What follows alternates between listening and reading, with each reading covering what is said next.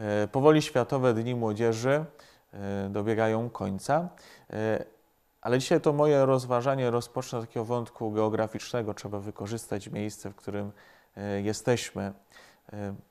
Panama mały kraj, dużo, dużo mniejszy od Polski, daleko od nas i ogólnie rzecz biorąc, powinniśmy o nim prawie że w ogóle nie słyszeć. I wcale nie chodzi o to, że słyszymy teraz o nim przez Światowe Dni Młodzieży, bo pewnie większość nawet e, ludzi o tym nie wie, ale e, większość ludzi e, o nim słyszało ze względu na zupełnie coś innego.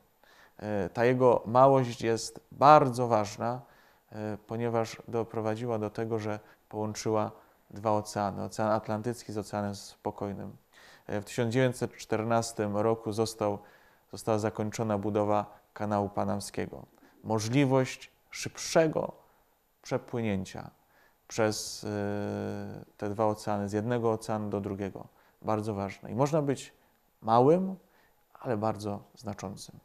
I kiedy e, trochę spojrzymy na każdego z nas w taki sam sposób, e, i pewnie często tak się dzieje, że tak patrzymy na siebie, że co ja sam jeden, taki mały, mogę zrobić. Nikt się ze mną w ogóle nie liczy, nikt w ogóle e, nie wiem o moim istnieniu. E, I warto w taki sposób spojrzeć na to wszystko, e, patrząc właśnie na Panamę, że może właśnie to, że jesteś taki mały, że jesteś kimś, który uważa siebie za mało znaczącego, jest Twoim wielkim atutem. Atutem do tego, żeby łączyć coś, co jest wielkie, doprowadzić do tego, że staniesz się takim e, miejscem strategicznym e, działania e, Bożej, Bożej łaski. Dzisiaj my za chwilę będziemy czuwać z papieżem Franciszkiem już w ostatnią noc przed główną mszą świętą, mszą świętą w niedzielę, mszą rozesłania. I Ewangelia mówi nam o tym, że Pan Jezus posyła swoich 72 uczniów do miast, miejscowości, wiosek, aby głosić Ewangelię. Takich tych swoich pomocników, i apostołów, i uczniów, żeby głosili e, Ewangelię. I On tak naprawdę, kiedy my tutaj jesteśmy, e, chce posłużyć się każdą osobą, która gdzieś tutaj jest, żebyśmy dotarli do wszystkich miejsc.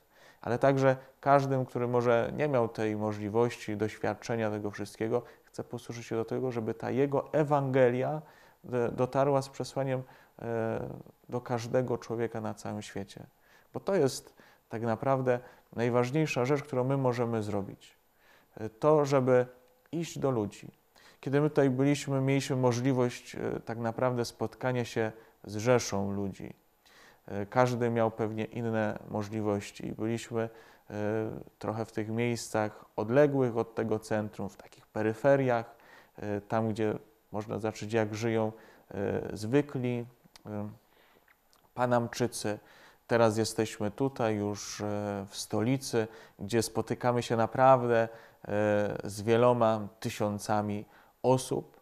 Czasem z niektórymi zamienimy tylko jedno słowo, czasem może trochę więcej, może z kimś wymienimy się nawet numerami, kontaktami, żeby gdzieś tą znajomość podtrzymać. Ale ważne jest to, tak jak mówi dzisiejsza Ewangelia, żeby iść e, i głosić Ewangelię, głosić dobrą nowinę, głosić pokój. Bo czasem od tego krótkiego, nawet małego spotkania może e, wiele zależeć. Może być tak, że komuś życie się odmieni.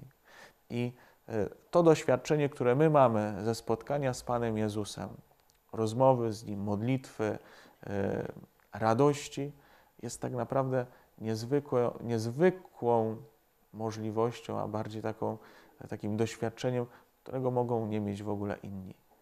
A my, nawet będąc małymi, tak naprawdę w mały sposób możemy połączyć tak naprawdę ten wielki świat drugiego człowieka z kimś jeszcze większym, z Panem Bogiem.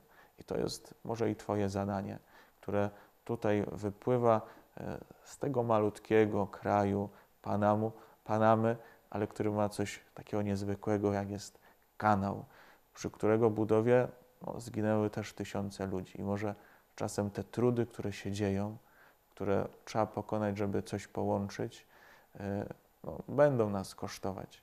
ale to jest coś niezwykłego i, i bądźcie tak jak, jak ci uczniowie, którzy idą e, i głoszą Ewangelię, bo wtedy do tego drugiego człowieka przyjdzie kiedyś Pan Jezus i jego serce już będzie bardziej otwarte.